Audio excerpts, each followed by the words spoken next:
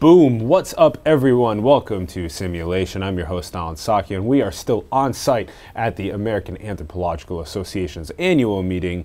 We are now blessed to be sitting down with Dr. Graham Pruss. Hello there. How you doing, man? I'm great. How are you? Thanks for coming on to the show. Thanks so much for having me. It's a pleasure. Greatly appreciate it. Really excited to be talking about what you care about. Let's give a background on Graham. Graham is a PhD candidate at the University of Washington.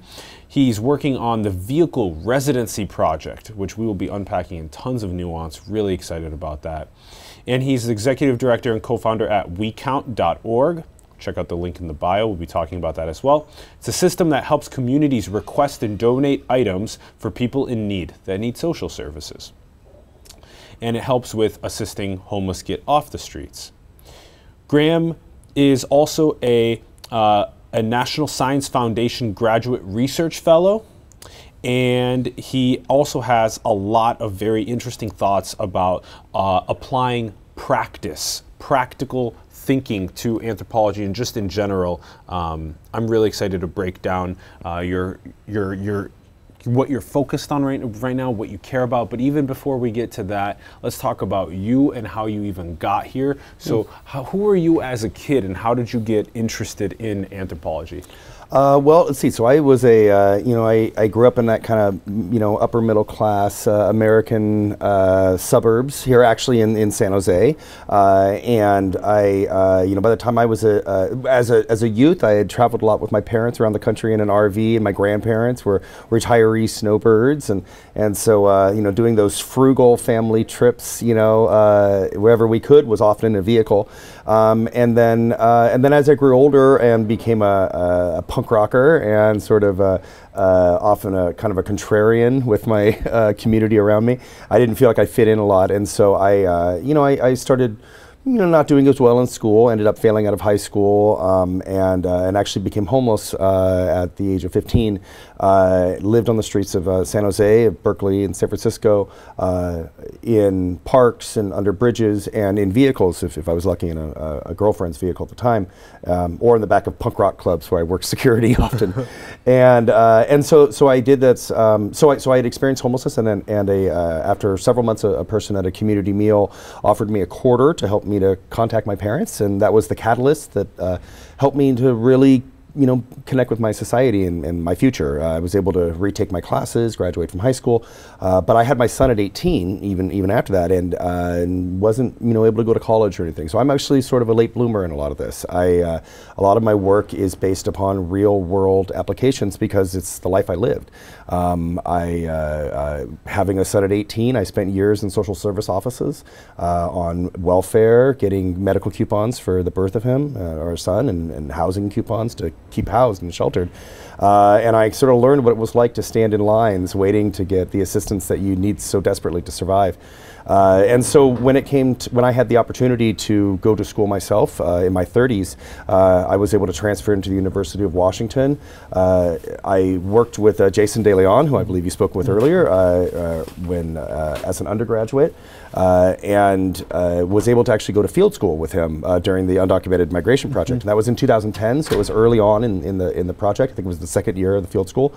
And when I came back from that field school, I was rip raring to go. I was, you know, really impassioned. I knew I wanted to do important work that was compelling, was meaningful, uh, and that for me had a, a deeper connection, um, much like Jason's work is with, with him. And, and so I, um, uh, I, I, had actually been bartending by this point in a community in Seattle known as Ballard, uh, mm -hmm. which is in North Seattle, and is a traditionally uh, blue collar sort of fishing and shipwright industry place and I knew a lot of people who were living in their vans and their RVs and who you know I had, had was serving in my bar and they were you know I'd see them sitting on the other side of the bar mm. day after day night after night and I'd say you know and, and and then come to learn that they lived in their vehicle and it really challenged my own preconceived notions around homelessness mm -hmm. um, based on my own experiences and what I had seen around me. Now, this was mm -hmm. 20 years later after I had experienced homelessness, so I had mm -hmm. developed a lot of the biases that many people have around homelessness, and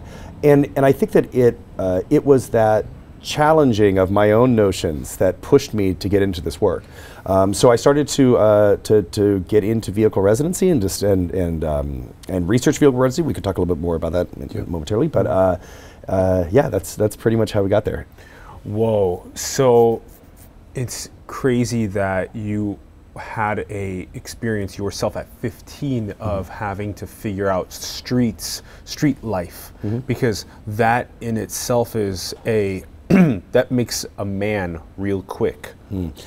it, it, it uh, I don't even know. I, you know, I would say there's a certain amount of arrested development that comes from it too. You know, to be yeah. honest, I see a lot of the world through my 15 year old eyes still, uh, and it's uh, you know it's difficult uh, because it does. It, I think it, it's um, experiencing highly traumatic uh, uh, life uh, firsthand and secondarily that you see when you're on the streets not just you know from the experiences that you have yourself but what you see around you really um, it does have a, a lasting effect. And I, I think that uh, for myself and many of the people who I know who've also experienced homelessness, it often leaves this deeper kind of sense of passion uh, towards social inequality, uh, towards um, under, you know. Um, thinking about what it means around identity and about uh, identities that are, are, are, positioned on top of people. About, you know, when you spend enough time on a street corner asking for change and you see hundreds and thousands of people walking by trying to ignore you,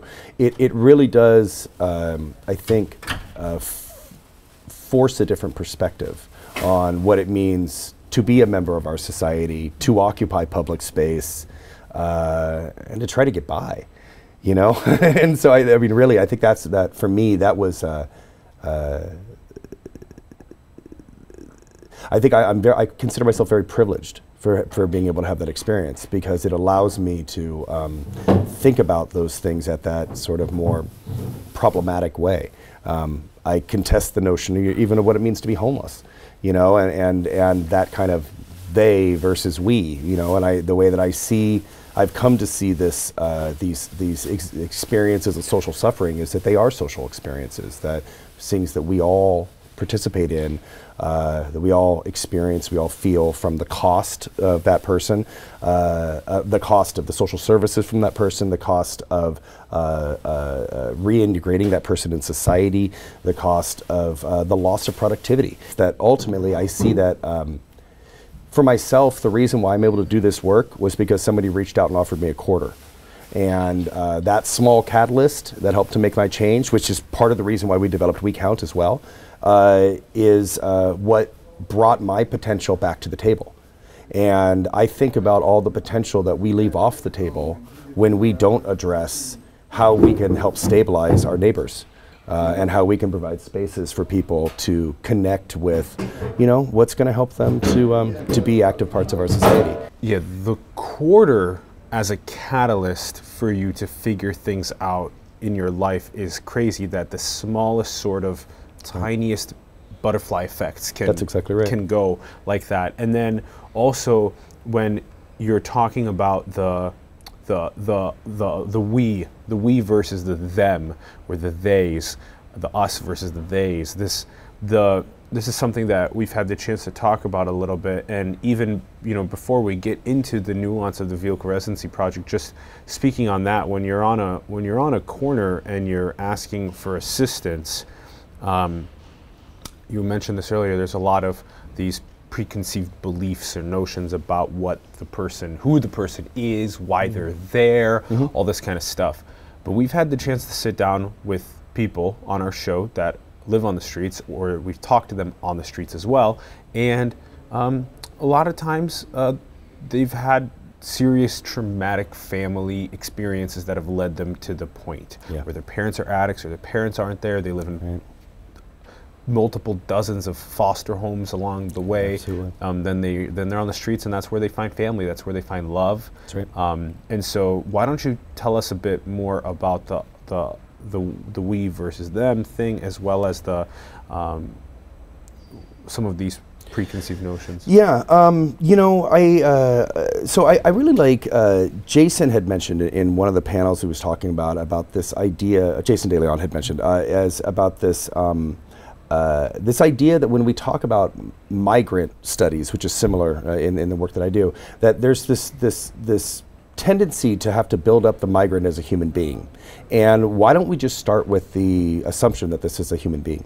Mm-hmm. And I tend to go that route instead of saying let's show that this person who's experiencing homelessness is a real person. Why don't we start by understanding that we're all people mm-hmm. and that we all make similar choices based upon the options that we see before us? That there are many forces of displacement, of destabilization, of unsettlement, right? That, that they can be from our families, they can be historical economic forces, they can be based on our skin tone or gender. Um, we call these structural violence, right? Mm-hmm. All these different ways that have these implicit and explicit constraints on our ability to uh, produce healthy lives. Um, and, uh, and, and I think that the way that I like to think about it is that if if we are all making choices that we that are, are we perceive as optimum within our environment of options, then that's very humanizing, right? Because why the person is sleeping on the corner is a result of a response to environmental options which they perceive before them, mm-hmm. right? And that is actually for me not only is it at base humanizing because it is not they, it is we. I'm a part of that environmental option, right? That's where I, when I talk about the social suffering as a social experience, but it also, I think, is um, a way that is empowering in that uh, as, a, as a social scientist and someone who's attempting a, a sense of praxis, of applying this into, in, into practice, is that I can affect an environment right? I can introduce new options or work with policymakers to affect the way options are provided to people. The choice is agentive, right? The person is going to make this choice as, the, as their own agent. But we can offer options that are more healthy and more beneficial, right? And so I see that like that seeing it in this way opens up new opportunities to do good work right, to do mm-hmm. transformative work. And that by limiting ourselves to this understanding of they versus we, right, it allows us to sort of offset that responsibility, that guilt, that yeah. neoliberalism of saying this person didn't play the game right, so it's their fault, mm-hmm. right? When the reality is we're all part of the game. Mm-hmm. That um, one of the things I, I uh, often say is that you know there's this old saying of, of we're all one paycheck away, right, from mm-hmm. homelessness. Mm-hmm. I like to say no, we're not. It's the paycheck you get right now right? It is the it is the fact that we are able to be successful and be able to be healthy and live in the homes that we have, but not everybody has access to that same level of, level of resources. Mm-hmm. Our paychecks are part of what makes our lives great, but they're not shared by that other person out there too. Mm-hmm. And so it is the success that we have that has a flip side of people who have have not who have become mm-hmm. have-nots. And mm-hmm. how do we help to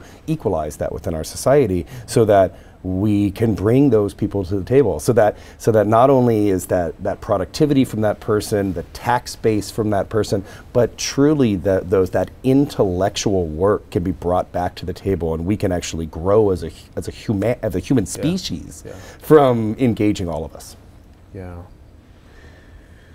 it's a really important way to look at it it's it's looking at it from a um, the systems thinking perspective or a cybernetic perspective of that I am I am who I am and I have had the access to what I've had and that has also had an impact on what other people have access to and what they right. have and so okay so um, walk us through what happened from um, from from going out into the field, Jason De Leon, to mm-hmm. on, to realizing that you want to do the vehicle residency project, and yeah, start and doing the work. yeah. So I uh, so after returning from the field with Jason, like I said, I was rip roaring and ready to go, and I knew I wanted to do um, work that was compelling and meaningful. excuse me. Uh, and uh, and so I, I actually I, I, I, purchased an RV and I started actually living on the streets of Seattle, uh, rather naively, and I would do it differently if I was to do it again. Mm-hmm. Um, mainly because uh, one of the things I quickly realized was that my experiences were not the same as people who were living on the streets. I had a home to return to. Um, and also that limited my understanding of the vehicle as a home mm-hmm. um, because since I had this other place I called home, the vehicle was much more of a temporary space, uh, whereas for you know people who are living in the vehicle, it was home, and that was a, really a significant difference. And it was one of the kind of first insights into this whole. Um, sort of assemblage of vehicle residency. Uh, another thing, really quickly though, that I did see that was helpful was that I saw that there was this tremendous amount of law enforcement that was being applied. That um, not only, of course, uh, you know, the tickets and the warnings you got to move every 72 hours, but that there was signage everywhere I went that was saying you can't park here, and and it was signage that that particularly related to people living in vehicles. So um, I was finding that in these industrial zones where that there was laws in Seattle that I could only park my RV in industrial zones. Uh, this is a really common law uh, that you can only park vehicles that are over, say, 80 inches wide at the wheelbase in industrial zones um, because you don't want those parking in residential streets for emergency vehicles coming down in the middle of the night, right? So you can only park those vehicles in industrial zones in the nighttime, right? So uh, between midnight and 5 a.m., I had to park my RV in industrial zones, just like every other person in an RV. And then in those zones, I saw the placement of no parking 2 to 5 a.m. signs, right? Which you go, well, why do you, where's the street sweeping? you know, at 3 a.m. in the industrial zone. I mean, it's just, it's not there. Those signs were put specifically to remove vehicle residents from public space. Um, and that uh, that actually is what what started uh, the, the, what drove my, the archaeological aspect of my research, the the ethnoarchaeological aspect. Uh, in that I did uh, three years of settlement mapping and actually mapped where people were parking vehicles and RVs, trucks, vans, and uh, and um, uh, cars on the streets and correlating that with zoning, parking laws, resources, and showing how these settlement patterns were being driven by the constrained options that were available within their environment. Um, and how then that created densities within the settlement patterns over time, which then led to further community complaints, which led to more no parking 2 to 5 a.m. signs, mm-hmm. which reduced the amount of space and created more density, mm-hmm. right? And so um, I, uh, I produced a report. Uh, so during this time, I, I worked for, with Seattle University leading the vehicle residency research program and uh, conducted two years of that mapping with that program, one year as my undergraduate at University of Washington for my honors thesis. Um, in vehicle residency, and uh, and then uh, presented that report to the city of Seattle, helped to uh, to, uh, lobby for the uh, the creation of a safe parking program mm-hmm. that would provide off street parking for people living in vehicles. Mm-hmm. Um, I wrote the grant for that program, and uh, we ended up start developing it in Seattle back in. Um, 2012, 2013, and I uh, applied to become the outreach provider for that program so that I could continue my research through it. And uh, from 2000, um, I think it was 2013, 2015. I was the uh, the outreach specialist, as it was called, for all vehicle residents in Seattle. So. Uh, during that time, for those two years, I worked with about 1,500 people who were living in vehicles uh, all across the city. Um, in Seattle, I should probably say the numbers of what, what, what, what we're looking at. Um, so in Seattle, there are roughly 12,000 people who are experiencing homelessness. Um, about half of those people are in some form of emergency, transitional, or permanent shelter.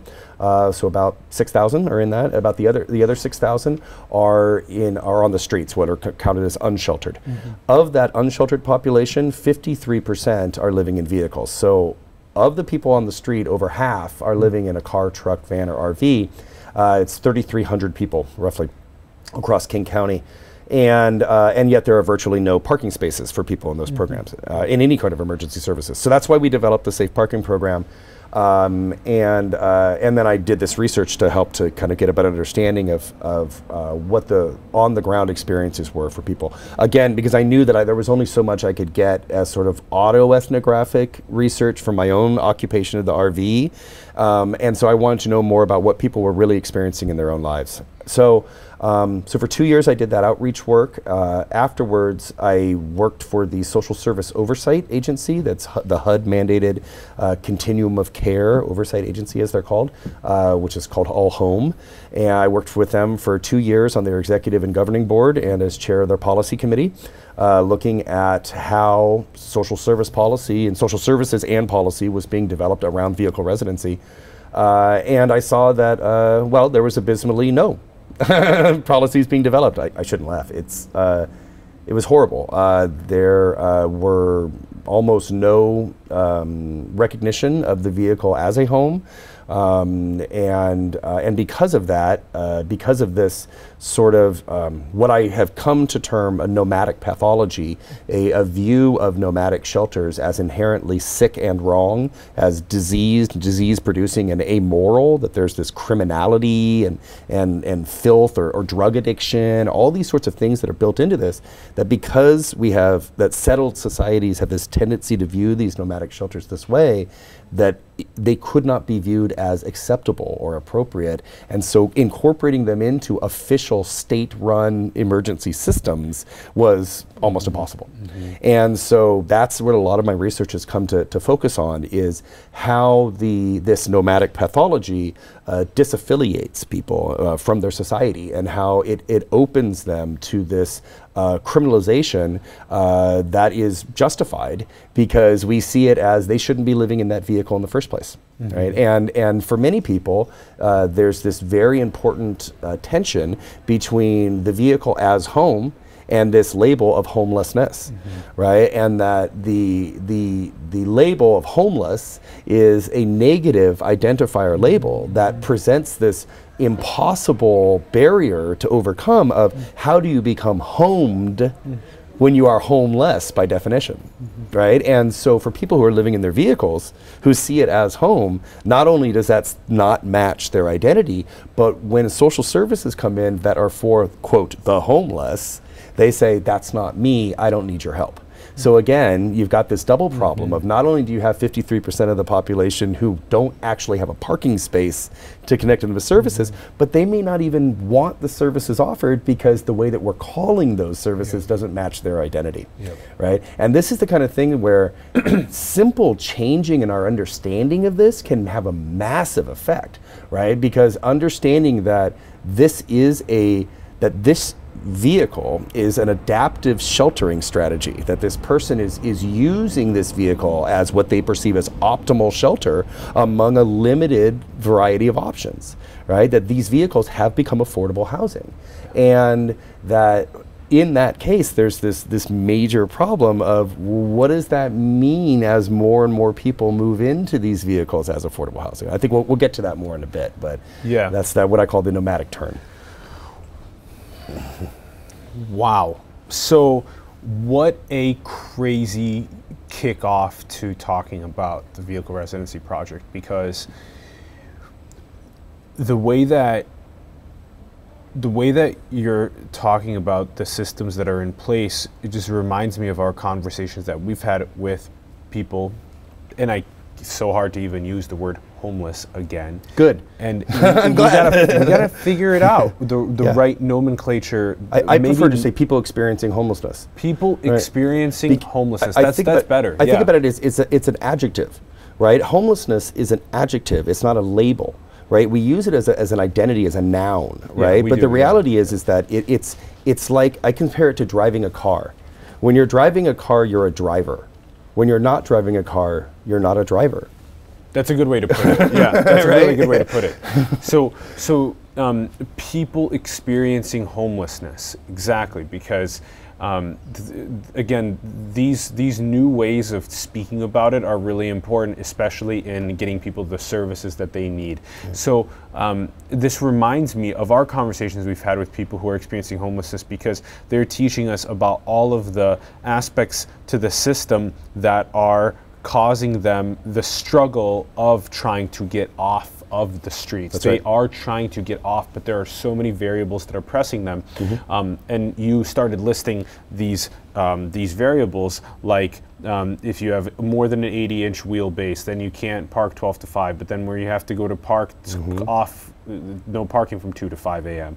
Right. So um, now you also started kind of teaching us that you know, out of the 12,000 homeless in Seattle, uh, people without homes in Seattle, um, that there are 6,000 of them in sheltered um, residencies and whatnot, and then there's uh, um, 6,000 that are that are that are on the streets, and 3,300 of them are in um, vehicle residence. Mm-hmm. So over 53% of the ones on the streets are in vehicles, right. and there's no place for them to actually um, to to park their their vehicle that they live in, and so now you've made mm-hmm. this this push for there to be space that um, for them to actually be able to park and and have their vehicle as their residency in mm-hmm. these in, in spaces to, to facilitate the proper um, because there is no them this is all us and right. so we have to figure right. that out and now as you're as you know as you were speaking about that I was thinking about New York and LA and San Francisco and Chicago and all these other places that have equivalent numbers, if not more, um, than 12,000 people living right. on the streets. And that's um, a lot of, of, of, of, of, societal systemic change that I think you are pioneering. So, um, okay, so now, now as you're, as you're doing this research, you, you, you went, you had, you had 1,500 people that you were talking to on a daily basis mm-hmm. about what was going on in their lives. Or, so, uh, there was a pool of, of 1,500 people that I would be working with over those two years, but yeah. Pool of 1,500 people right. that you were working with over those two years, talking to, learning about their diverse stories and life trajectories. Right. And so now, what were you learning about their experiences that was like, holy crap, we yeah. have to change some of the things in our system? You know, I would say that that that the the main takeaways that I got that I think were really sort of revelatory were uh, first off, and they shouldn't be. I should say they should not be revelatory, but they were for me, and I and I hope that they can be for others as well. That uh, first off, that these were people who were displaced from their own communities. That uh, these weren't people who had come to the city as a way to get their resources. That by and large, the vast majority of the people that I was meeting, not just people living in vehicles, also people in tents, but definitely among the people that were in vehicles, were people that were from Seattle or the surrounding area that were using their vehicles as a way to maintain their connections to their familiar medical, social, and social service systems right? And that they used these vehicles again as this affordable housing to maintain this connection to the city, right? And that what had happened was that the over the previous decades, there had been a labor market and technology shift in this in Seattle, which we experience in San Francisco and LA and other of the main cities, which are experiencing the same problem or same issue, I should say, mm-hmm. challenge. Mm-hmm. Uh, that that there has been this labor market shift, and people who have the background or the the privilege of education or wealth to be able to move into that new labor market of high tech and information economy have been able to do very well and been able to uh, succeed in that. And this is where the it's our paycheck now, mm-hmm. right? But those who are from the uh, a blue collar background or for the many different reasons of structural violence, skin tone, gender, uh, gender identity, even, um, or and many more, uh, uh are, are barred from getting into that new economy and uh, or from the educational background to get into that economy or, or employment background. And so because of that, this shift has displaced this population that people have the um, gentrification. The, the gentrification, yeah, that's one way to look at it, and and it's and but it's not just gentrification. It's mm-hmm. I, I always look at it uh, that because when we think about it as gentrification, we respond with, well, we need more affordable housing. But I'd say, okay, but affordable housing today is unaffordable housing tomorrow if you don't have a job. Yeah, you call right? them vi- what do you call them? Violent structural uh, impediments or the, I'm not sure. the, the, the, anthropologists um, call it structural violence. structural violence. Structural yeah. violence. Structural violence. Yeah. And so that structural violence is what um, holds people back based on yeah skin tones or right. yeah, it's the yeah. isms, right? you know the racism, sexism, gen, you know whatever you know um, ableism, and that that that. The, and it's it's really it's the explicit and implicit biases that that that are held that create um, constraints on a per- person's ability to have agency that is positive, right? And often it, it, constrains people to choices that have negative outcomes. right? And so, um, and it, it, it's it's a it becomes a social indicator of health, right? That ultimately it, the person ha- it, there are negative health outcomes that often come from not being able to get into a great job because of restrictions based upon your skin tone, for example. So displacement was a reoccurring Yeah. theme. That's right. Yeah. So, so I had seen uh, displacement uh, occur- occurring in Seattle, and uh, people were uh, were being uh, they were unable to as they were there was this large rental base as the uh, the rents were going up because of the new economy. People were becoming evicted. Uh, they were then moving into their vehicles or moving onto public streets often moving in the street and then moving into a vehicle because it was an optimum shelter, and uh, and then because there was no place off the street or in particular out of the vehicle for a place to park the vehicle and connect to emergency systems that help settle people and stabilize them. Um, because there was no process to do that, this, this, this population just keeps growing and growing. Uh, and this is why, actually, so even though we're, we're at 53% this year, or vehicle residents are 53% of the unsheltered population this year, they have been actually thir- at least 30% for the last 10 years. And in the last 10 years, that population, because it's, it's been rising, I should say they're 30% of the unsheltered population for the last 10 years. Over that time, the total vehicle residency population has risen by 383%. So we're talking about uh, 2008, it was something like um, around uh, like 800 people, and now it's 3,300.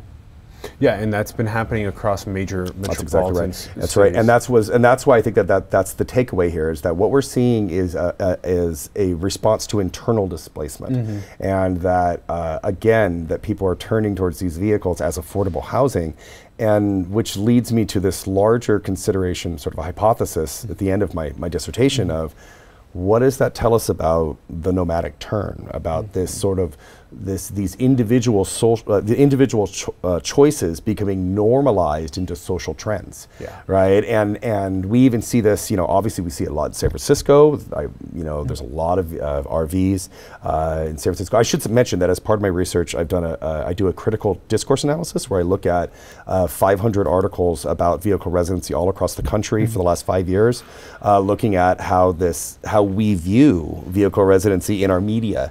And uh, and in particular about how much it's being referred to as affordable housing and how that trend is becoming more normal Yeah. um, in places like LA, and I'm not sure if you're aware, but they recently had to pass laws where uh, to restrict people from buying RVs, putting them on the street, and renting them as apartments uh, because there were so many people doing it.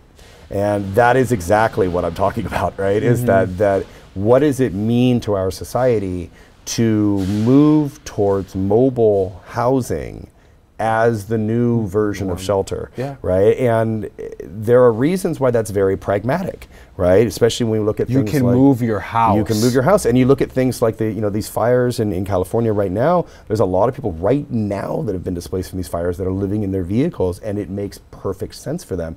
But I think we You need don't have to pay 1500 2000 a right. month in rent. That's right. But I think that we need to take a step back and go back to why, you know, looking at, you know, there is no they, we are we, right? That that the re, if we're all people and we're making choices based upon the environmental op, the environmental Mm-hmm. options that we perceive before us, then we need to look at that person living in that vehicle not as a good thing, right? We got to look at it as this is the response to an environmental set of options, Mm-hmm. right? And that has possible benefits, possible detriment, right? It is not always just progressive, right? It's not all this, you know, march towards, you know, a future of greatness, right? These things can be good and bad, and that um, and that that that we need to see that vehicle as a response to these larger social environmental pressures. That um, that may have um, a larger destabilizing effect on our society Yeah. Um, because we're honestly not prepared for 3,000 RVs moving from city to city. Yeah, and you you're so at the forefront of talking about this in terms of it being a trend towards mobile housing, Right. and you're also at the forefront of talking about it in terms of the um, it's all about us and not about a them type scenario because when you think about it as a them type scenario you're we're taking the blame and we're moving it away from a society and we're putting it onto the individuals that are involved there. Um, but this is a this is a, a direct effect of the economic and political pressures that we've that we've created. And um, that's why we see so much displacement and towards this mobile housing. Now within the mobile housing um, there is a um, there's there is a percentage of people that um, that have a desire to be in mobile housing. There's a percentage mm-hmm. of people that are writers or artists or um, uh, um, philosophers or um, or entrepreneurs in some w- ways that they want to musicians. They want themselves to become uh, uh, with home um, mm-hmm. um, instead of people without home. Mm-hmm. And so um, mm-hmm. So then there's so there's these categories of people that are within um, the the people that are in living in ve- in res- vehicle residencies. So um, that breakdown is also really important to understand. There are actually people that are addicted to really addictive drugs, mm-hmm. and uh, also and that that that desperately need social services to also um, assist in that sense. So that breakdown is also extremely important to, to figure out and understand. And just hearing you talk about this, it, when I heard, first heard you talking about this, it's just so near and dear and close to um, our hearts in um, in San Francisco. And our studios right on uh, Market and Seventh Street in downtown. And so we have a you know our we see so much um, right there of of of not only people um, living without a home, but also um, we see a lot of, of vehicle residents, and we also see a lot of um, a lot of the diversity of people living without home, like mm-hmm. like I was just describing that mm-hmm. breakdown. Mm-hmm. So, mm-hmm. what do you what are your thoughts about that mm-hmm. breakdown of people and just give us give us your thoughts yeah. about that breakdown. Well, I think uh, you know, I think uh, that uh, I, I would push back on a little bit on that. Please, I, and, and, and, I would I would um, say that it's not quite as hard and fast as that, and that mm-hmm. and that we should getting back to that whole "there's no they, we are all we" mm-hmm. thing. That that people um, that that there are many forces of displacement. Um, they can be personal, they can be social, they can be endemic. Uh, they can be things like you had a bad relationship with your dad, right? So when I was homeless, I didn't get along with my family, right? I, I came from a very privileged place, uh, especially considering many other people that I know, and I was able to return to that, which is a tremendous sense of privilege. Um, at the same time, that what moved me into that place of being homeless was important for me, important for me enough to live on the streets, right? And that was a force of displacement. Now, is it the same as um, other forms of structural violence? No, there's many different different reasons why people get into this. Um, and I would add that uh, many of the um, many of the behaviors that we that we observe among people who are experiencing homelessness, such as drug addiction or, or substance use as a whole, not only are they reflected throughout our society, and we don't ask the same questions of the person who's in the condo above the person who's sleeping on the street. Mm-hmm which is important, right? you know, but those just like that person in the condo, the people people use substances as ways to manage and mitigate and medicate their traumas. Mm-hmm. And you find when you work with people experiencing yeah. homelessness that many people experiencing homelessness did not use those substances before they became homeless. Mm-hmm. And they began using those substances as ways to mitigate the traumas mm-hmm. they're experiencing. So, you know, how do you go to sleep at 3 a.m. when it's freezing out? Well, drinking yourself into oblivion is a lot easier. Okay, how do you stay up all nights with your stuff because you're afraid of it? Well, taking a couple hits of something mm-hmm. to stay up all night is a good way to do it. Mm-hmm. And and that sort of behavior is done as a response to the environment, which again, what happens when you change the environment, right? So this is why things like you know what I'm talking about isn't. Um, it's not that like it's not controversial. This is this is what the housing first model is based on. This is actually what HUD, you know, the, the Department of Housing and Urban Development is is focused on right now is trying to find ways to get people into safe spaces immediately so that then we can remove them from the environmental traumas that they experience on a daily and nightly basis and start to actually provide the stability that offers them long-term development with with the immediate relief. And that's really what I found in this research ultimately is what do we need to do? We need to look at this as a two-pronged issue and we always focus on one or the other and it's not that. It has to be both relief and development. Right? Yeah, yeah. really. And so the relief portion is the integration of the traumas in ways um, that are preventative of people without homes. I would say the relief portion is providing a relief from the trauma now. Yeah, relief from trauma Immediately. na- immediately, so that way there is no trajectory that sends people to p- being without home. Yeah, because or, or, or, or at least at least helps it at least removes them from the the the the, the continuation of traumas that they're currently experiencing. Exactly. So at least we can we can in a sense you you can never s- completely cease it because a lot of trauma becomes internalized, but you can at least remove people from the environmental traumas that are experiencing around them. Yes, and because as I'm learning about this more from you, I'm seeing it as similar to the pathologies that occur within the body. We've had so many brilliant um, anti-aging scientists that we've sat down with, and whenever we talk to them, it's all about identifying the pathologies before they start, Right. and then That's that's, exactly how you can like tweak the body over time to be Yep. healthy. And so it's the same exact thing as you're starting to see that this kid is having significant trauma with his father and there there is about to be a 15 year old on the streets. Right. How can we intervene and prevent that 15 year old Right. from entering that situation? and so it's, right. and so and so you also make these points about substance addictions. They don't happen when they're living in a home. This happens when you're trying to protect your stuff or when you're trying to deal with the freezing cold temperatures Yeah. these different situations um, so that's okay and then so then there's the um, there's the relief um, and then there's the, um, the Long-term development. long-term de- so then the development is okay. So then there's a situation that we have right now with vehicle residencies. So how do you develop a a current place for vehicle residencies to go to, but also develop a city like Amazon's HQ2 is moving into um, Long Island City and it's moving Right. into um, Crystal City um, in Virginia. And so when you're when you're looking at these two uh, these two uh, cities that uh, and Nashville as well, where Amazon's moving into, that that there needs to be some sort of a of a promise, a community promise mm-hmm. of, hey,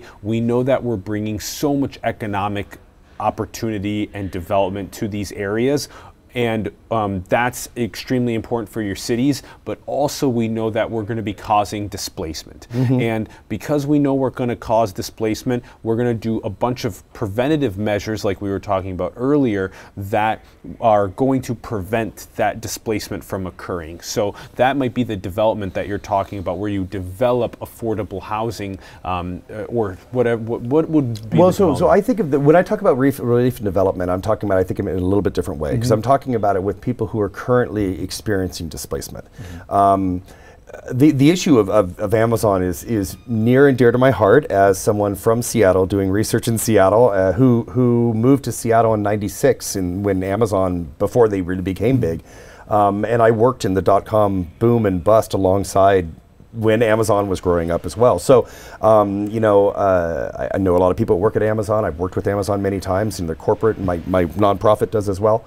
Um, and so, uh, uh, a lot of that is what informs that idea of it's our paycheck now, right? That that that economic success, we shouldn't demonize that economic success because there's obviously a lot of value that can come along with it. Now, I think everybody should pay their fair, fair share of taxes um, and be able to support our economy as a whole, but that's kind of a different discussion. Um, but when it, when it comes to uh, uh, what those forces, um, uh, what forces a company like Amazon can bring to bear in terms of displacement on new cities, uh, I saw it in Seattle. I saw it for the last 20 years.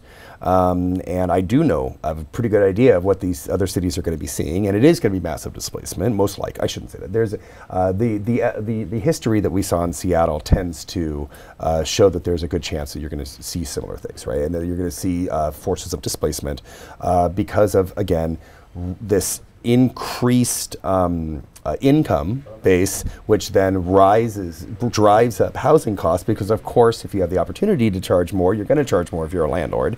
And then the people who do not have access to those jobs at Amazon or the industries that surround Amazon, which you'll see pop up as well, like we did in Seattle, um, are going to be priced out of their market. And that uh, I think that much like what we need to do in Seattle, we need to do that that Amazon. If you want to look at how they're going to um, protect against that displacement, how they can help to ensure that they won't be bringing in uh, structural violence into these communities, uh, is that they need to incorporate those communities into that success. And it's more than just bringing in these jobs, because they bring in the jobs and they bring in the people to fill those jobs. They need to target the communities themselves to fill those jobs. And that's why a lot of the work that I do now with, uh, I, I, I uh, am a member of the, I was appointed a couple months ago to the uh, mayor of Seattle's Innovation Advisory Council, mm-hmm. and a lot of the work that I'm doing there is pushing towards a um, an integration of rapid rehousing of like the programs that provide um, uh, subsidized housing for up to a year, uh, along with year up training programs at these top 10% of our employers, so that what we can actually do is is ways to integrate people who have been displaced into the businesses that are causing the displacement, right? Because that's actually that's how we solve this problem of affordable housing is unaffordable if you don't have a job, mm-hmm. right? We need to get people the jobs, but you also need the immediate relief. So that's relief and development, mm-hmm. right? Get a house right now and provide people the skill set yes. to be able to afford that house a year from now. And that right there is not new. That's the new deal. I was just about to ask you to go into that. you know, yeah. So there, there were th- there were three million people. two million. I did them. I checked you it out. checked it I out. did check it it, was out. Two two. million. I was okay. one million off. So, so there was a period of time where there. Right now, we're looking at about 350 or 400,000 homeless people in the United States. People experiencing homelessness. Sorry, people experiencing homelessness. We're trying to change the nomenclature. Yes. So, for people experiencing homelessness 80 years ago, right.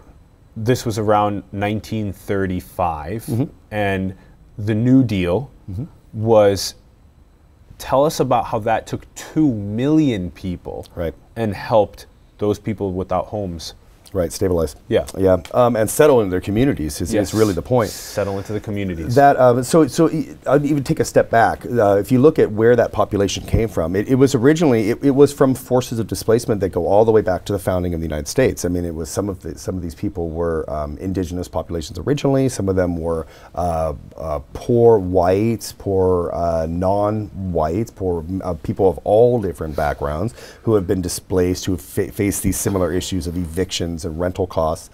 Um, and uh, and became this this basic massive poor underclass of our society, um, and particularly the Civil War was was very disastrous upon this this group.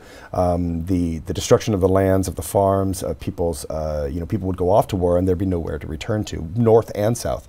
And so um, at the end of the Civil War, just a little brief history, uh, uh, those soldiers were brought back to New York uh, so that they could be cleared out uh, through the train lines, the new train lines. And so they brought everybody back to say, okay, you're no longer north and south. We're back together. We're going to clear you out from being a soldier and send you home. And so they'd put them on, on railroads out of Hoboken. And those became the hobos. And that's actually where that term comes from mm. originally, is from these hobo armies that were initially mobilized as a, as, uh, a clearance of soldiers from the Civil War. And those soldiers had no homes to return to. They started on the road and they started looking for jobs where they could. And again, at the same time, you had a technological shift of this turn towards industrialized farming right? And so as we have this move towards industrialized farming, a lot of the farms that were subsistence farms that had been before were getting brought up into larger plantations with, you know, in the south they were, you know, using sharecropping, and in the north and in the west we had these large, you know, fields and everything. Those, all of that was then was um, the the hobos became this workforce that were moving across the country uh, as the labor market shifted into industrialized mining and industrialized timber. That force moved with it to become the workforce that moved into the West, right, and into places like Seattle, where they worked to become part of the uh, the lumber industry. Um, and uh, and James Spradley, who uh, did a lot of this work, wrote his book uh, "You Owe Yourself a Drunk," a dr- "Owe Yourself a Drunk" about tramps. Um, talks a lot about that, about how this sort of this rise of this um, this population. Uh, and then what happened was is that by the, the 1930s, as you mentioned, uh, 1920s, uh, there were around two million people who were experiencing homelessness in, this, in the country, the United States, and they were, uh, you know, colloquially called the tramp and hobo armies, moving from city to city. And, uh, and what's interesting is that the, the initial response to that to help to stabilize that group, many of us forget, but it was actually called the transient service. And I think it's important that we, that, that we you know, take a moment to, to think about what that term means because at that stage, the social service providers saw that what was needed was stability, was settlement, mm-hmm. that there was this movement, this, this mobility, this migration of people that was the issue, right? And that if people could be settled in the place where they were, then they could be provided that development. Mm-hmm. That's the relief and the development. And so at that time, there was this growth of these places called Hoovervilles, which we've, we've all probably heard of. And we often see these pictures of these places as these massive sources of urban blight. The one in Seattle is one of the most famous. There's this real famous picture of the, of the Seattle Hooverville. And but what we don't know, um, uh, or we've forgotten, is that those were places of settlement. That those were places where people were finally allowed to settle down, and the government came in with social services and brought in educational programs, uh, child care programs, job retraining programs, and that those were what became eventually the New Deal, with its rights and wrongs. I'll obviously freely admit that they're not. New Deal is by no means perfect, and, and in it enforced its own systems of structural violence with redlining and and uh, other very problematic things. Um, but one of the things that it definitely did right was that it uh, it said uh, that what we needed to do was to not only provide these people with a space where they can be now, but we need to provide them with the skills to build out the economy, to build out their new cities. So we employed Ooh, settlement and skills. Settlement and skills, relief and development. Yeah. And so what we did was is that we employed that population to build things like the Hoover Dam, mm-hmm. so that suddenly now these people are laying concrete and they're pipe fitting and they're putting in electrical lines. Well, those skills is what they then used once everything was done to ship that person off to Ohio to build out their own little town. And right, right now and we could potentially use coders or designers or exactly operations right. That's right. And at a time when we have record unemployment specifically for that market, because much of the people who are on who are unemployed but have fallen off that roster, as we know, which skews our unemployment numbers, those are people who don't necessarily have access to get into that high tech jobs. Yes. In the high tech jobs, we have record unemployment. Yeah. We need more people in those jobs. Those those industries are hiring like bad, yeah. and they're looking for people that they can help to sort of uh, mold into the positions that they that they're looking for. Absolutely. And we have this population who desperately want to settle down, who want a safe place to be, who want to fit in with their their our society right? And and really see this as home. That this is still their home, and yet they're being moved out from their home own homes because these new industries have come in. So. Going back to the Amazon discussion, right? That this is what Amazon, in my opinion, needs to do to help to address that in places in New York and in DC, is in Crystal City, is that uh, we need to first off uh, uh, incorporate uh, the uh, people who do not historically have uh, the access to those jobs into the hiring practices to get them into those jobs. That's first off how we address this on a structural level, right? And then for the people who will become displaced, we need to actually funnel that population directly into those jobs as well. So I think that it needs to be sort of twofold, that, that there needs to be an initial approach of how do we hire local populations mm-hmm. to work at these incoming industries so we don't displace them. Yep. And then if there is displacement, which often there is and we see, then we need to specifically focus our social services to hiring people into those programs. And we have these services already. I mean, it's workforce, I mean, it's, it's labor force. I mean, these systems um, and the private and public market, the federal government's been running job retraining systems for decades, mm-hmm. right? And, and we, you know, it, it's, it's not a radical idea You know, it's a it's it's a matter of of believing that there is not a, a deserving and undeserving population, that we are all we, and that by supporting that group, that we are helping our total society, and that not that that that person just needs to be pushed away, and we need to focus on the good ones, right? And that's really what we seem to have been doing, and it's causing a lot of a lot of um, destabilization. Yeah. Yep. The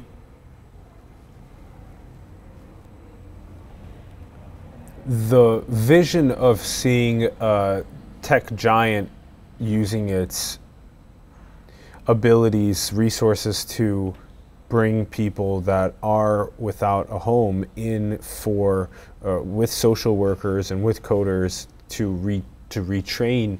Um, I think can happen within um, within a year. I, I, I do think that it, it, it very much so um, could happen. Um, and I was just I was just it was just envisioning what that would look like, and it was really cool to, to think about. But it's very very difficult to um, repattern someone's habits and their cognition to desire to Mm-hmm. Code or design or do ops. It, it's just it's not impossible. It's just difficult. And so, but it, but Mm-hmm. Well, well, yeah. I, I, would, I would agree, and I think that that that um, and actually, in this is I want to touch back on your your initial question about sort of the uh, varieties of nomadism. Maybe we could say, right? Yeah, the yeah. the sort of that idea of wanderlust of the person who's inherently driven towards moving.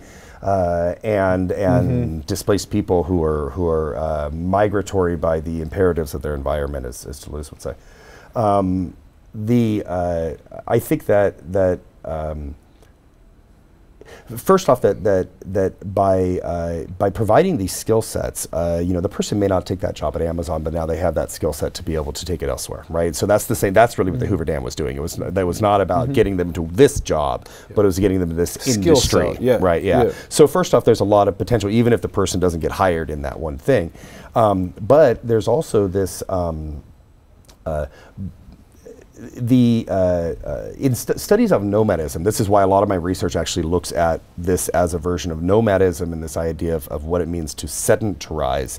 That when people um, are, are pushed into movement by these destabilizing um, forces of displacement that have been going on for thousands of years, um, that when people are mobilized uh, and, and are, and are and main and and live within these persistent, consistent, uh, destabilizing environments that say you're not allowed here. You got to keep moving. It's environmental pressures or social pressures or economic pressures, but that that thing that says keep moving along. That that people n- nomadize right? They normalize to this migratory behavior because that's all they've come to know, right? It becomes normative, right? And and um, uh, that versus the settlement and skills. well, and, and I would say that that these people were raised in a settled society. Yeah. These people are That's right. raised with these sedentary ideals that I have, and I, I'm sure you do Yeah, as well. yeah. That that the that the success that we can achieve in our lives is based upon settled life, Mm-hmm. right? That that having a job, having kids, putting clothes, you know, clothes on your kids, food on your table, having a good education, all those things are done by being settled down right? And then we and we teach ourselves that's what Robbie McVeigh calls the sedentarist hegemony, right? And then what he says is that the, the flip side of that is this anti-nomadism that says that anything that's nomadic is bad, right? And and so when a person becomes nomadized uh, and becomes used to being sort of this. Um, uh, being treated as a social other, as being pushed off on society, never really able to settle down. Uh, of course, one would normalize that as that's just how life is, because that's all you see everywhere. Now, the flip side of that is is that it takes time to normalize. It also takes time to sedentarize.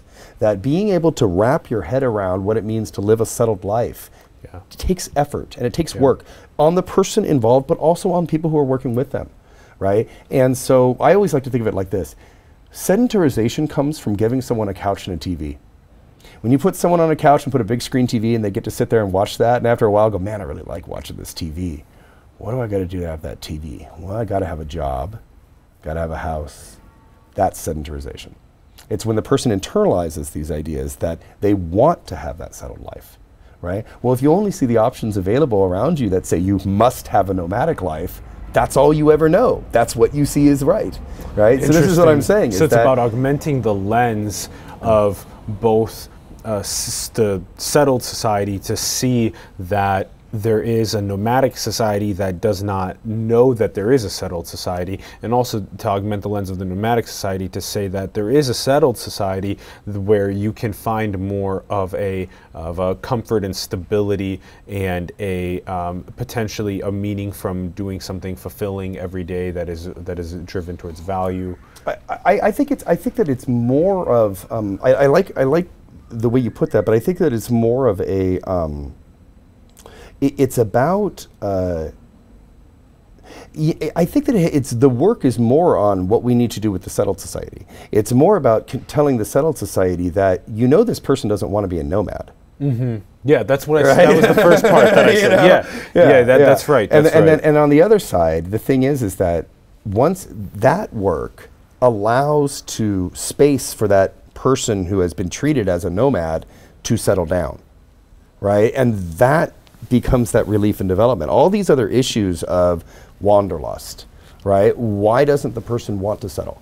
Why don't they feel engaged in their society, right? I mean, why did Thoreau go to Walden? right? Right? Because you didn't feel you needed to go somewhere else, right? And didn't feel that this was right and that place may be that. Is that a, is that a migrant? Is that a homeless person? Is that no? It's a person who's moving in their life to find new things. We all do that.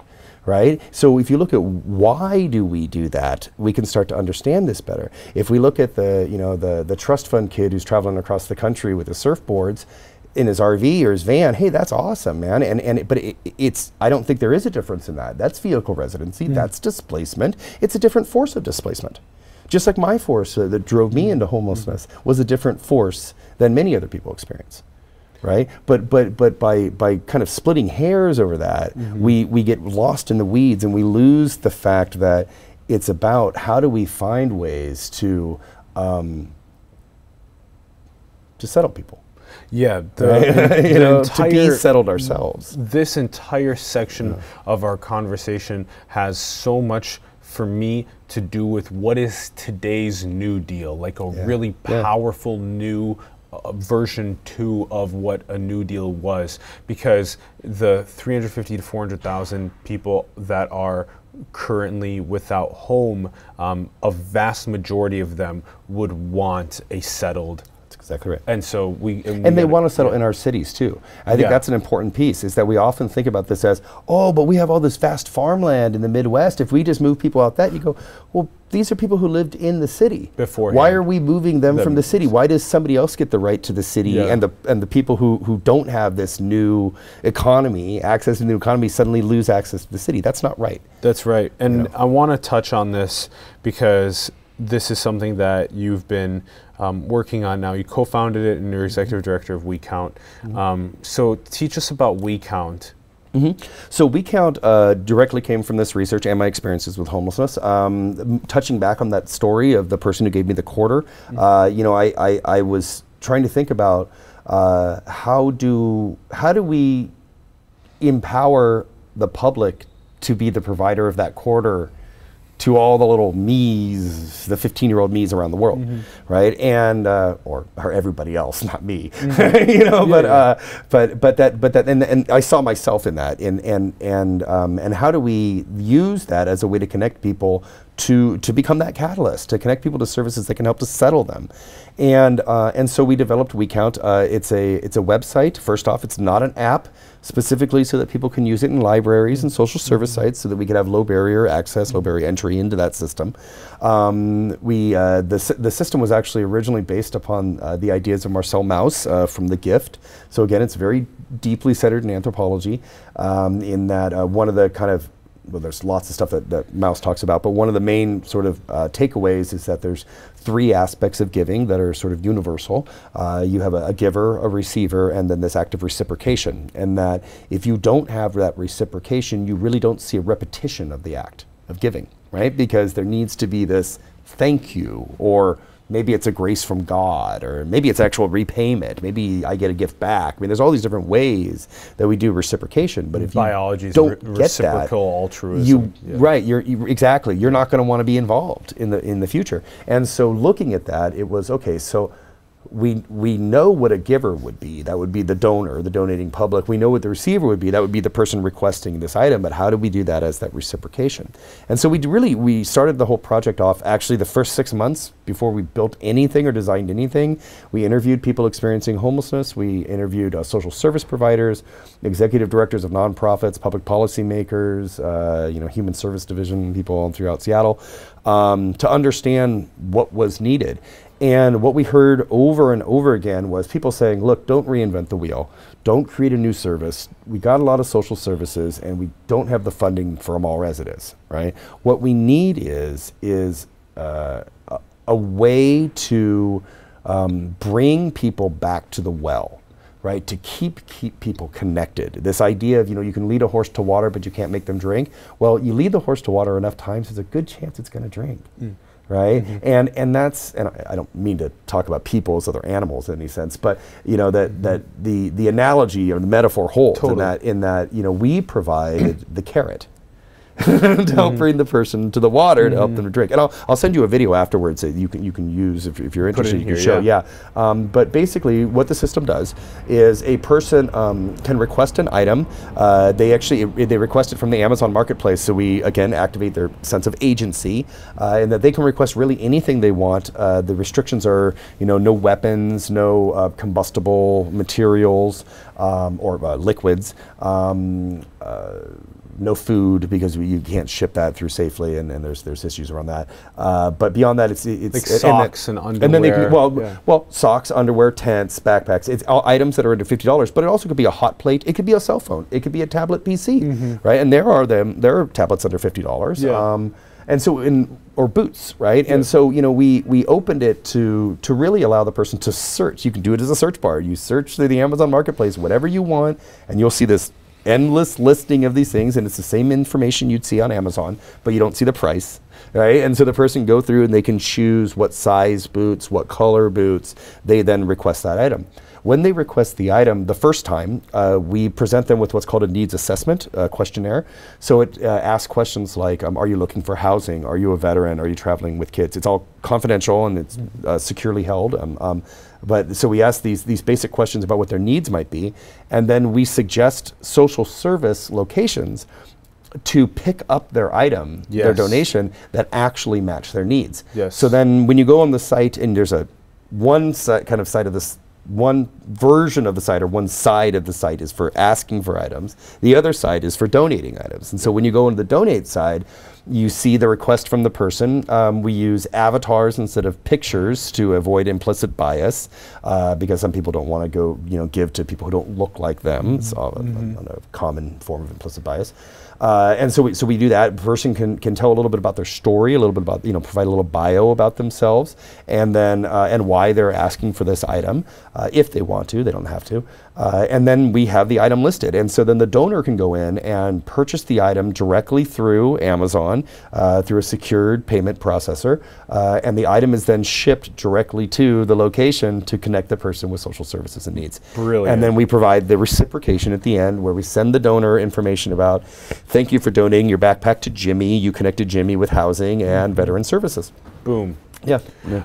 I love the aspect of of anonymity, but also um, of it's like it's not it's an, it's not fully anonymous, but it's mm. just exactly it's just it's just enough anonymous to not have bias, and then it's also um, getting them what they need, getting them to a social service location, and um, offering them the resources that they need to help them get off the find a home if, if they so um, desire right, to, and right. you're polling them to figure out the right social service location right. to send them to.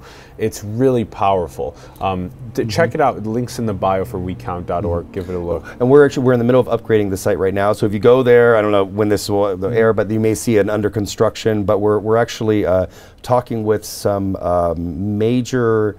I shouldn't mention the names, but uh, major social media players, which you are very much familiar with, mm-hmm. um, about uh, ways to integrate this into their platform. Great. And actually, so imagine you were on some of these social media platforms, and in your you feed, you actually saw a request One for of a your backpack, local and you could- neighbors yeah, needs a twenty dollar backpack. That's right, and you could Yeah. donate it right there through that. Yeah. Yeah. That's fantastic. And that's going to be huge for helping people. And then they have to go to a social services center nearby to pick up the That's right. backpack. And, and, and, it, and it goes this, and it, it, I, we've talked I've, uh, a couple times we use this word, this term push, right, of pushing people into stuff. And I really like to think the other way of pull. Yeah. That really what we're doing is, is that, and this comes again from my research with vehicle residents, so often I see people being pushed, Pushed. around communities. Totally. And that doesn't solve anything. It removes people's agency, it removes people's push resources. is like the displacement, and That's pull the is like the displacement. settling. Pull is the is the settlement. That's right. That's exactly right. And so what we're trying to do is create poles into our systems to help keep people connected. That's right. And there's another. There's an. There's. There's this word that we're all familiar with. Um, the word is genius. Oh, And we were talking Yeah, about yeah. this a couple nights ago, and I really enjoyed um, your definition of genius one who inspires another to great thought. Mm-hmm. So it's not necessarily about an individual that is a genius, Mm-hmm. but it's more so about that individual that knows how to inspire others to That's right. Great source of potential for themselves. That's right, And that's for right. the collective. So yeah, tell us a bit about that because it's so cool. yeah. Um, so it's it's. I mean, it's uh, it's it's not my definition. This is the Mm-hmm. original Greek definition, actually. And so it's it uh, it's um, the uh, the original. We, we've the the common. Uh, kind of understanding of genius, as you said, is gen- is generally some a single person who's very mm, abnormally gifted in intelligence, maybe might be a, a working definition. I don't know, um, something along those lines. But it's generally an individual who's very smart in some way. Uh, but but the Greek definition was much more like a muse, um, in that a muse is uh, a, a thing or a person or an entity of some sort that inspires an, an artist towards producing great art.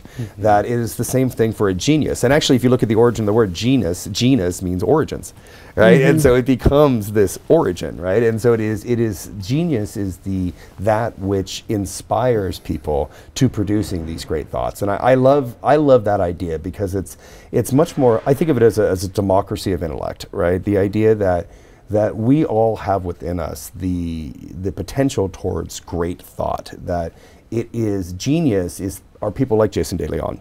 Uh, I, I consider him a genius. That you know that uh, in my experiences working with Jason, he absolutely inspired me to think more deeply about my world and uh, and to be much more critical. And and you know I there is absolutely no way that I would be doing my research had I not learned uh, that sense of critical thinking and the skills that I learned from him and other anthropologists uh, who I consider geniuses, uh, Rachel Chapman, Miriam Kahn, uh, my Sven Haakanson, my dissertation chair, Danny Hoffman, I mean, all these uh, amazing people I've been able to, to, to work with, Holly Barker, um, uh, who, who show that um, anthropology can be more than just theory, it can be praxis, which is the other thing we were talking about. Yes, that- yes. that this we can- leads us into praxis. Please, yeah. that we can bridge this gap between sort of this navel gazing, staring down our noses anthropologists out at the world, uh, uh, and, and, and get to a place where our work actually is affecting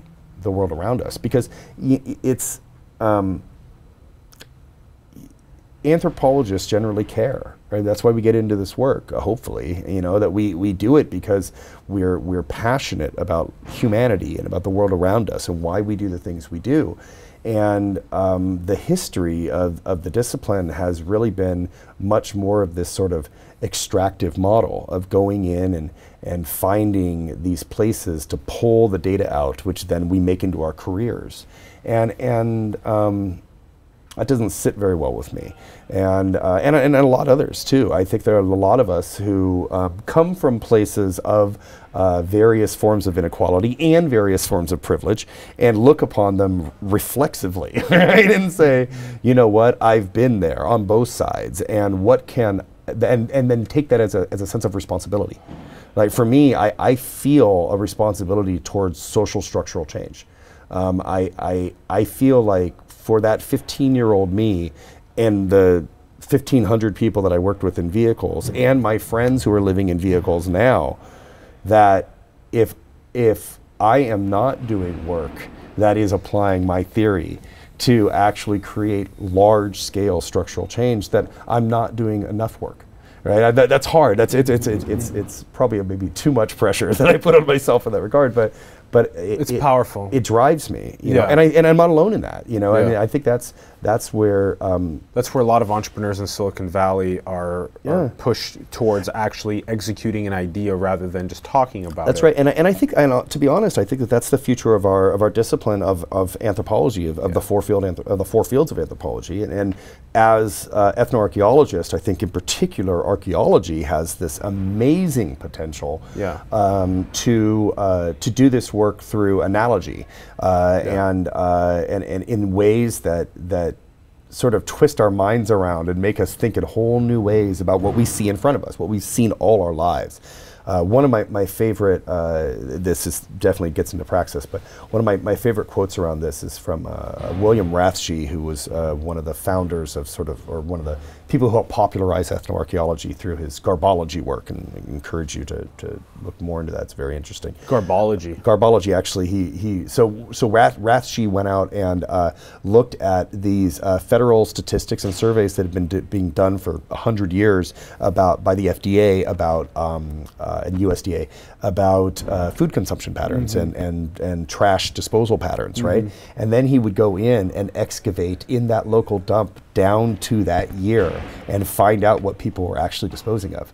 And in that way what he what he says is is that our lives consists of these two versions of reality of a mental reality of what we think is happening and we're just so sure that's real and then the material reality which is the actual stuff that we're depositing in the earth Yes. right and that we can compare those and bring those realities together to create this more holistic version Yes. that is actual reality That's right? truth, yeah. and and and that's what i try to do with my work of looking at this mental reality of what does vehicle residency look like how do we as a society look at it and what are the physical realities of actually living in these conditions and how does that shaped by our social services and all this kind of stuff and and that in my mind that's that being able to tie um, a, a, a current reality of persons living in a vehicle to past realities of mobile sheltering, things like the Irish travelers, the tinkers, uh, Roma, quote, gypsies, as they're sometimes referred, and I would mention to your audience that it, it, that is a, a racial epithet which many people push back at. I encourage people not to use the word gypsy. Um, and, and, and even on that note, it's often used for cultures all across the world, really, and it's really just about mobility. It again gets back to that nomadic pathology. It's a way to label someone as the nomad, right? As the outsider. That that those sorts of things that looking at at that in other cultures and in our our own past can tell us about what we're seeing now.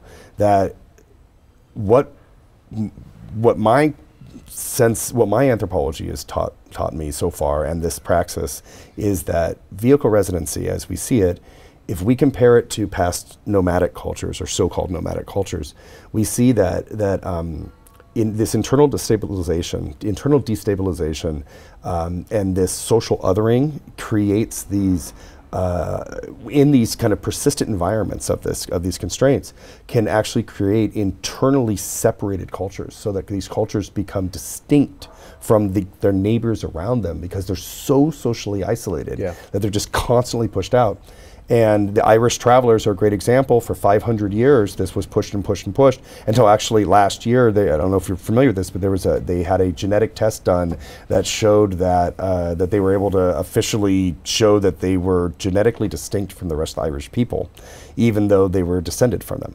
Right. So that's kind of interesting to think about, like that that 500 years of social, is- so- social isolation and intermarriage because of that social isolation, of Yeah. course, um, created this, you know, uh, arguably genetically distinct population.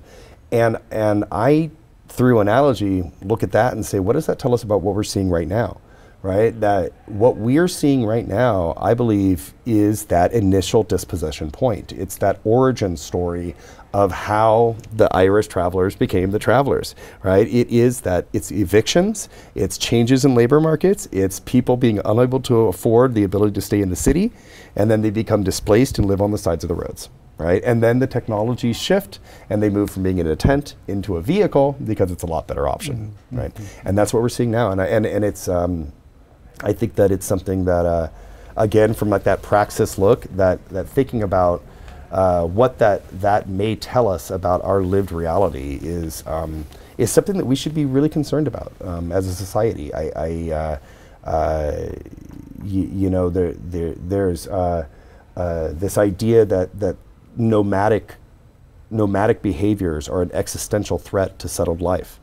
Um, and I think there's some truth in that in that uh, that nomadic life needs this um, open, non-bordered world so that they can move, so people can move throughout that world to collect the resources they need when they need them, uh, because because it's a non-extractive form. It's it's what's what. Um, uh, Anatoly Khazanov uh, called a called a productive form. That he said that it was it was uh, that uh, nomadism is is saying there's not food here, so I got to go over there to produce it right, to find new forms. Mm-hmm. Whereas the settled world extracts it from that thing, right? Mm-hmm. So, so if we are living in this settled world of this extractive form and people are moving towards this nomadic form, that means that you have a group of people that no longer see borders, that people that move freely pl- places to be, to be able to move have to move uh, widely to be able to get the resources they need and become even more further destabilized by that. And if we actually, you know, sort of op- operationalize that, what does that mean in reality to now?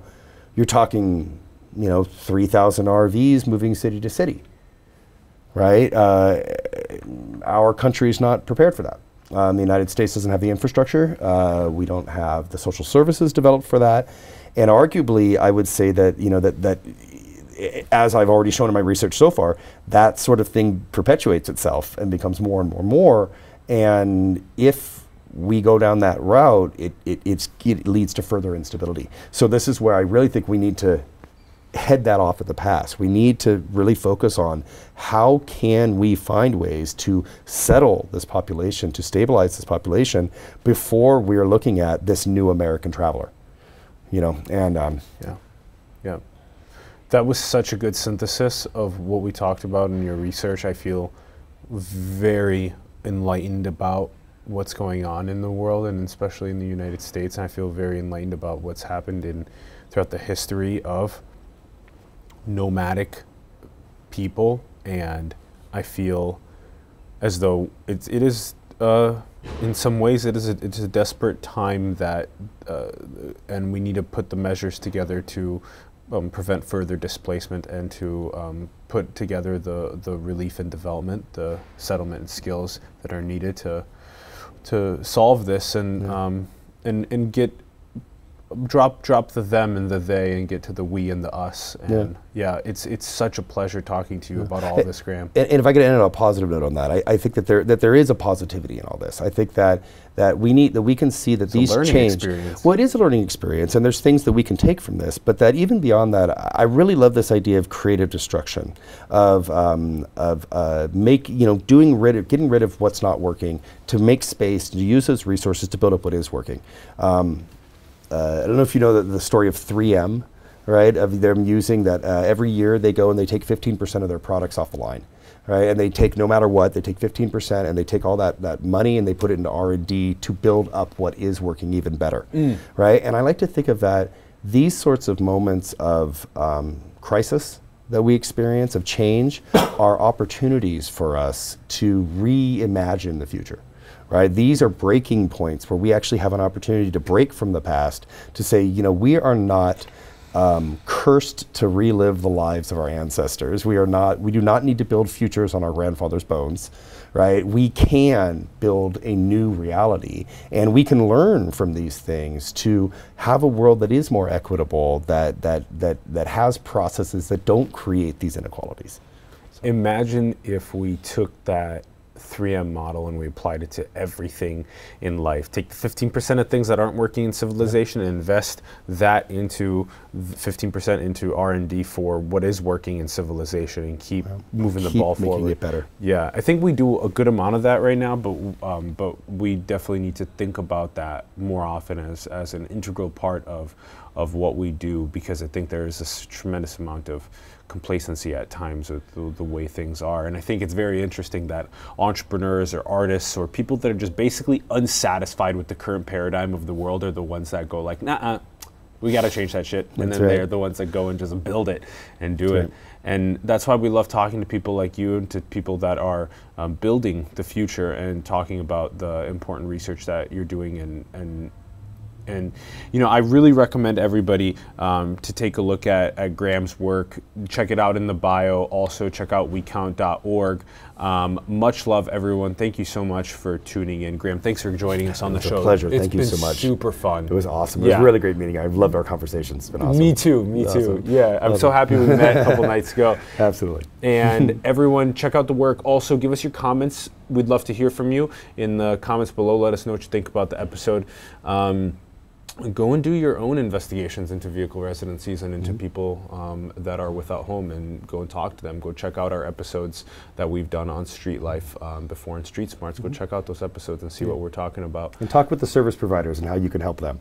Yeah, talk with service providers how you can help them. Pass a little, pass some of your time actually going and volunteering time to to these efforts to um, to humanize ourselves, um, and also go and manifest your dreams into the world, build the future. Thanks to AAA, uh, the American Anthropological Association's annual meeting. This has been super fun down in San Jose. Thanks everyone, and much love. See you soon. Peace. That's great. Wow. Man, love it. Yeah. Really a lot That- of fun. That. Thank you. man. You too.